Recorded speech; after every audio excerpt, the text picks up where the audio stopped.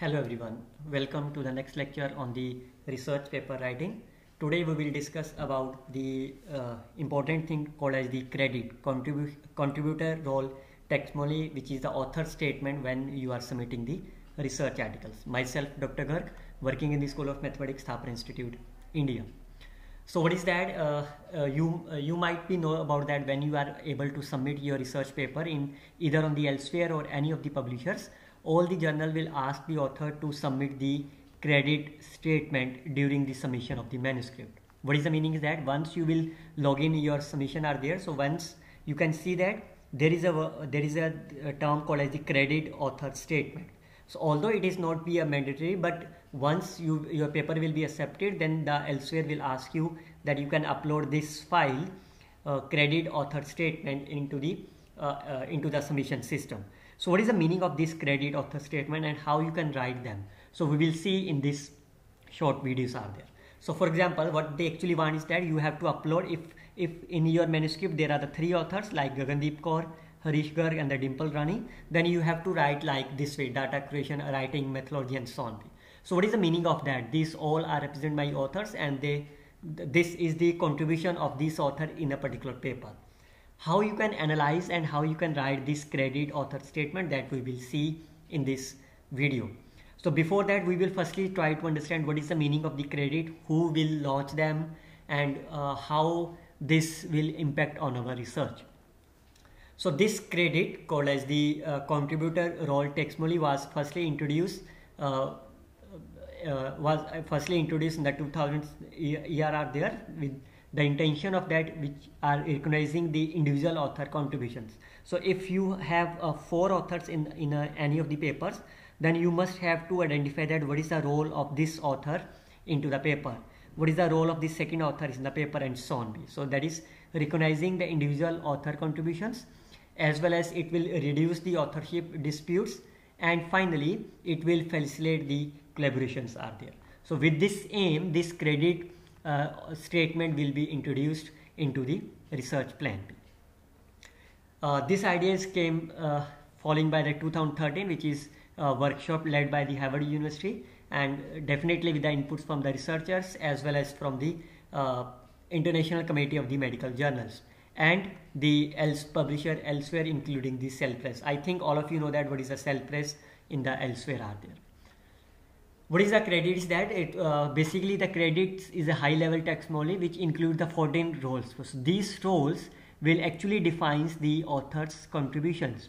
So uh, based on these 14 roles uh, you are able to identify that which is actually the uh, contribution role of your authors are there.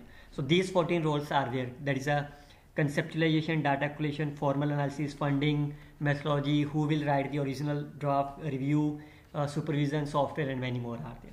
So we will see one by one what is the meaning of the conceptualization, data collection. We will see uh, up until this or what is the meaning of that and how we can write them.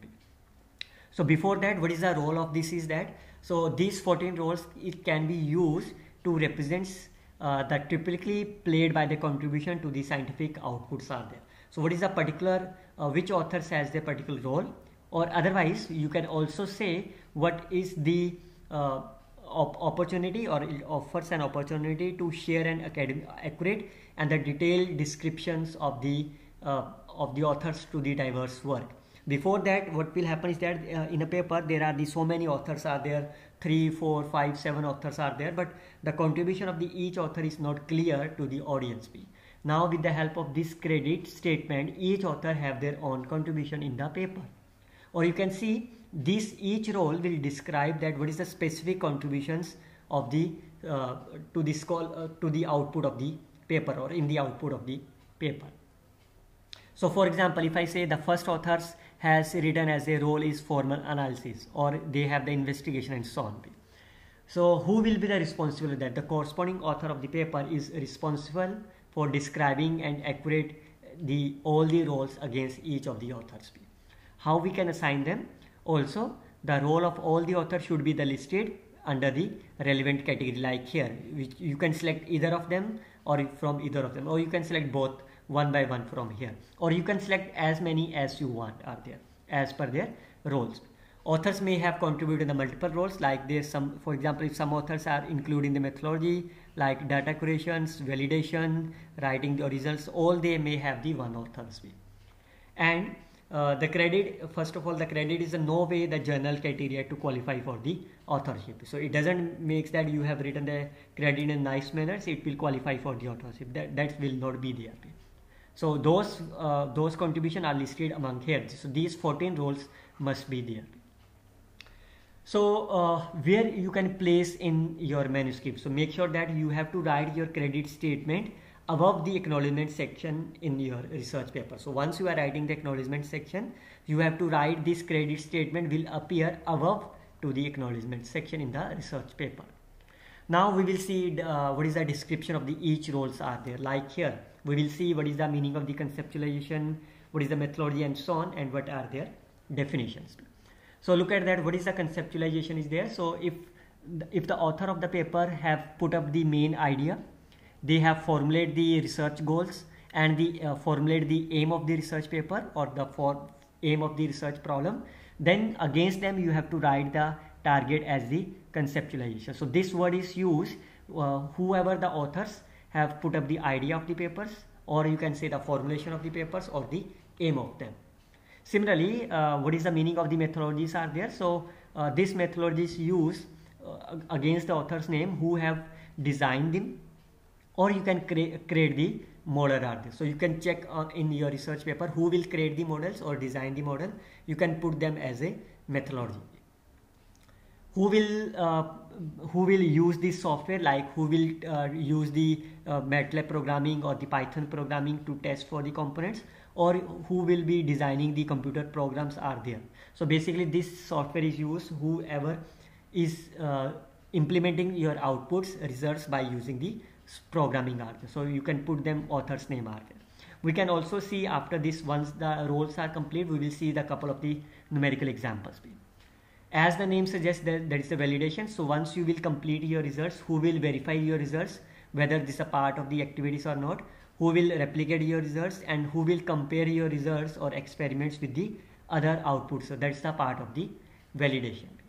Similarly, the formal analysis, that is the meaning of that, you, who will ap apply the statistical techniques, computation analysis, or, or, or the, you can say the synthesize your um, data are there. So whoever the authors did this work, you can write their name as a formal analysis against their name. Also, uh, what is the meaning of the investigations are there? Who will conduct a research? Basically performing an experiment or the data collections are there. So that's the part of the investigations. As the name suggests for the next one is the resources. That is the who will provide your study materials, who will provide your materials, who will provide your samples or any of the analysis tools are there. You can put them as a resources. Similarly, for the data curation, as the as the suggest that who will uh, annotate or you can say produce, who can include the software course and so on. And most important thing, this is the most important thing is that who will write the original draft. So if you have the four authors, who will write the original paper, so that you can put up as a initial draft, so that you can write as a original this. Similarly, once you will get the review or the editing are, are there, who will uh, this is not the revision are there. This means once you once the author will uh, write the original paper then who will review this? Who will find uh, the manuscript is a better manner and so on. So it will prepare presentation improve them. They will provide the critical review pre or the post publications are there. So that you can put uh, the title writing review and editing against the author's view who can visualize the uh, results are there you can see who will the create who can prepare or who can uh, preparation of the published work, especially for the data presentation, you can put as a visualization. You can, who will be the supervision under which, whom you can put up the, all the results, that's the supervisions are there. Uh, project administration, that is the, you can see who will be coordinate responsibility for the research activities.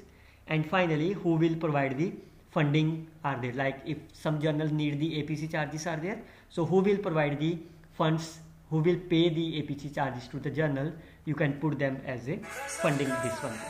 So what you can do is that uh, now all these 14 criteria are there. Now we will see how this will work in in your uh, with the help of numerical examples suppose I can put up a sample say this is the title of the paper a novel hybrid prose of something are there.